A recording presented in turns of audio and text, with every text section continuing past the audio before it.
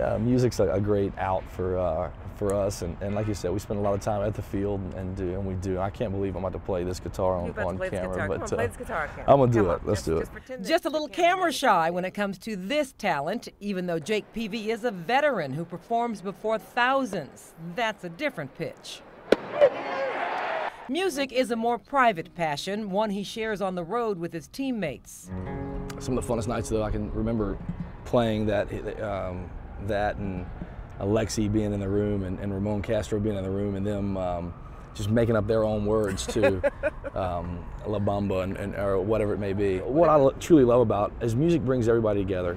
And some lucky fans will get to share some of the fun in Peavy's life in a few weeks. He's raffling off an experience money can't buy. I got a pretty good connection at U.S. Cellular Field. Going to get you some good tickets um, and get to watch us play the Cubs. Get to hang out on the field for batting practice. Raffle winners will get transportation, hotel rooms, spending money, dinner with Peavy, who will no doubt end up on the guitar.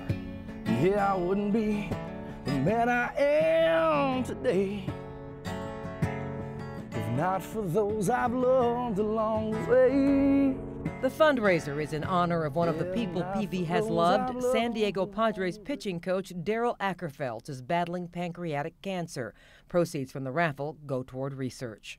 I want him to know that I'm doing what I can do um, to, to, fight this, this thing as well with him, you know, as a brother. You, you become so close with these guys because you spend more time there at the field than you do uh, even with your own family, and these guys become family. And with this guy, sometimes total strangers become like family. Yeah, here we go here. This is him. Look, what he put. Hell yeah, I got my knees. Hell yeah, I got my knees. A young soldier who lost three limbs in Afghanistan gets support from the Jake Peavy Foundation's Strike Out for Troops program.